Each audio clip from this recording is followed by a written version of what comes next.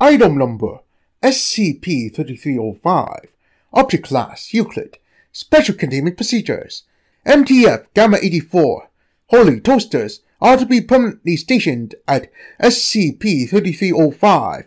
All personnel attempting to gain access to SCP-3305 without prior approval are to be detained, administered Class A amnestics, and released. Should SCP-33051 manifest, it is to be detained by MTF Gamma-84 and transferred to Site-19, where it will be stored in the standard humanoid containment chamber. Protocol Judas is to be executed in the event of a containment breach meeting the required criteria. Protocol Judas Protocol Judas was a method of containment proposed by Dr. Teller to successfully detain and terminate SCP-33051, while causing minimal physical and psychological damage to those under its effects. This is only to be considered in the event of an uh, this is only to be considered in the event of a containment breach where SCP-33051 is summoned and has made contact with the civilian population. Phase 1 MTF Gamma 84 will bring a D-class personnel with an ailment, from now on referred to as the patient, to a building near SCP-33051. All smoke detectors inside the building will be disabled, and the patient must be kept in a room which is not visible to the outside. Airplanes equipped with the suitable amount of gaseous Class B amnestics shall be positioned near the civilian population. Phase 2, MTF Gamma 84, will request the assistance of SCP-33051 in healing the patient. It is imperative that no civilian personnel be allowed inside the building with SCP-33051. Given the nature of SCP-33051, if the request is made in earnest, it will comply. Phase 3. Once the patient has been cured by SCP-33051 and cleared the premises, MTF Gamma-84 shall incinerate SCP-33051. Phase 4. The airplanes shall dispense the Class B amnestics over the civilian population. Phase 5. MTF Gamma-84 is to perform a survey of the civilian population to identify individuals who retain memories of SCP-33051 and administer Class B amnestics as needed. Description SCP-3305 is a collection of five trees in the Beep Forest with slices of white bread stapled to them. All attempts to remove the bread from the trees have failed. If a particular ritual is performed at SCP-3305, see document SCP-3305-R, then a humanoid composed of bread will appear. SCP-33051 SCP-33051 will offer part of itself to eat and puncture itself to produce wine to drink. This bread and wine have restorative properties as individuals who have consumed them report being cured of all physical and mental illnesses. All individuals who consume part of SCP-33051 worship it as well as bread in general. The form of this worship varies highly between individuals. Similarities between this effect and those observed in SCP-3250 and SCP-2867 are under investigation while amnestics can successfully erase memories of interaction with SCP-33051, subjects under SCP-33051's effects still believe in the existence of SCP-33051 and will continue to worship bread. Only after SCP-33051 has been terminated do amnestics become effective at erasing all memories regarding SCP-33051. Additional documents. SCP-33005-R Materials needed. 50 loaves of white bread, 3.79 liters of red wine, a virgin, 18.14 kilograms of homemade dough, 14.4 cubic centimeters of flour, 3.79 liters of gasoline, matches, and a Bible.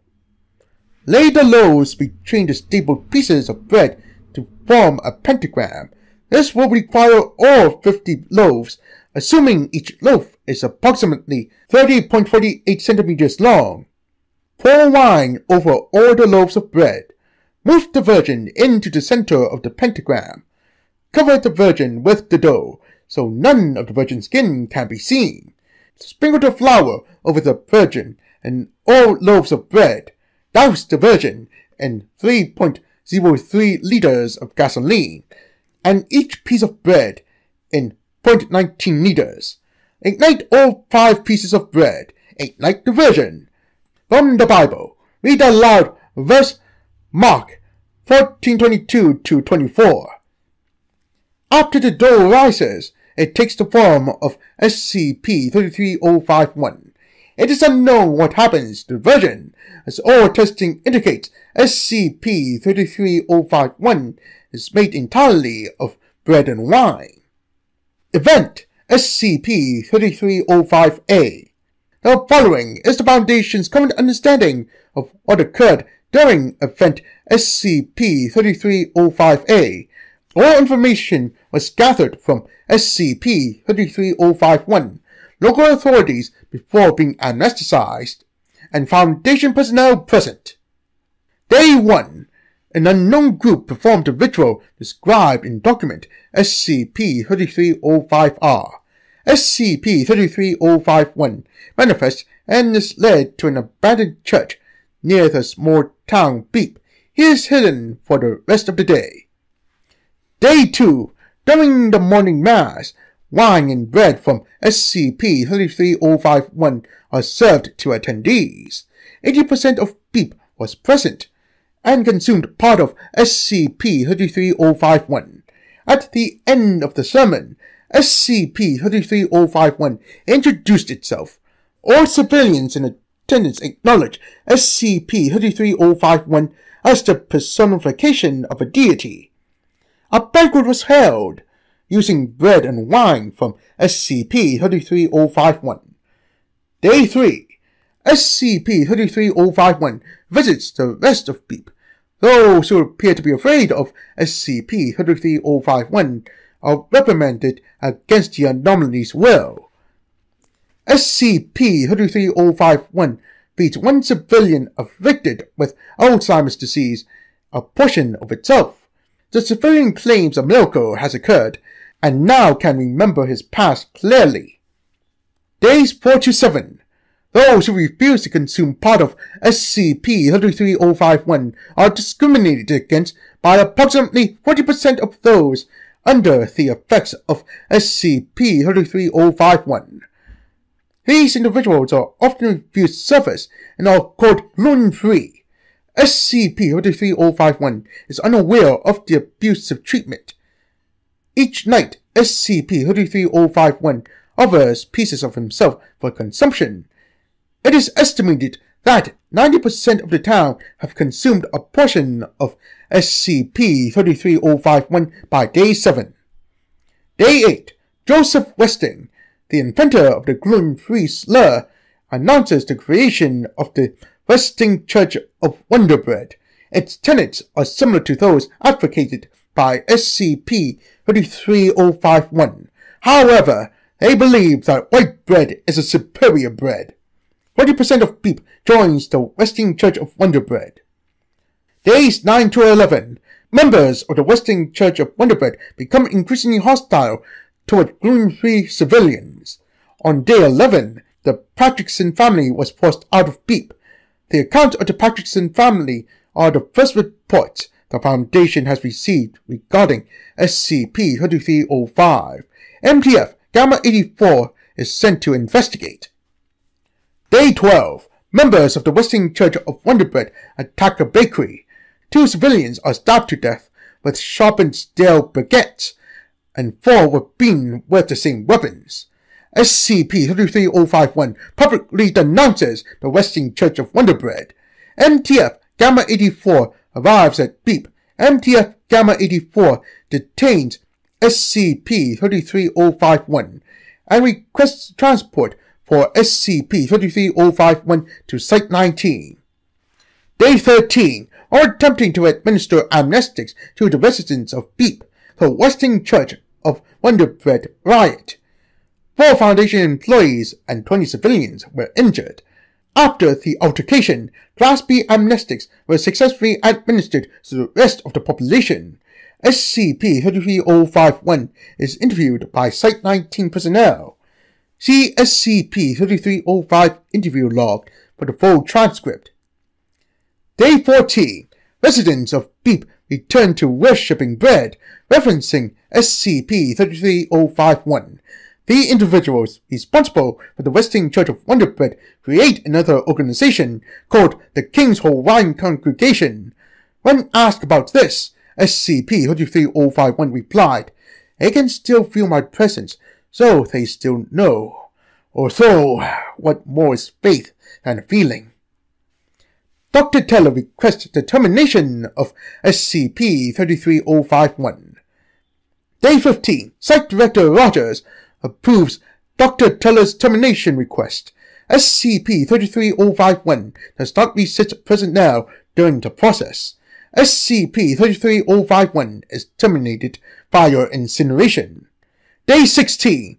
The Aviation Division of MTF Gamma 84 administers a gaseous amnestic to the residents of Beep via an airdrop.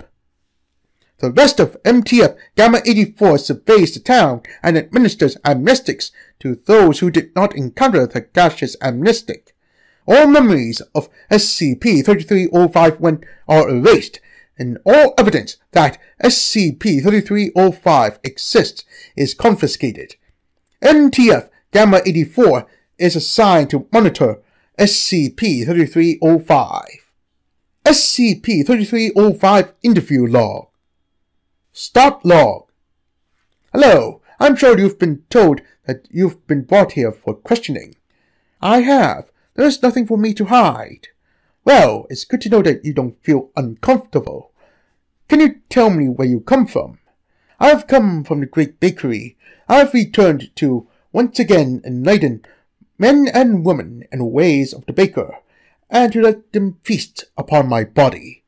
Returned. When were you here last? I know not the passage of time between my last appearance and now. I can say for certain that massive bounds of culture and technology have taken place. I am quite impressed. Fair enough. What happened to you during your last appearance? I attempted to do the same as I did these past weeks. I brought bread and urged people to break it with one another. The only difference was that back then, bread and wine were scarce, so I was considered a blessing and a miracle. Do you not consider yourself those things? No, no. I am just a humble butter knife, spreading the words of the baker.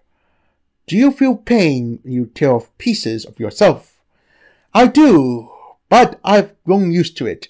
I've suffered for the masses in other terrible ways.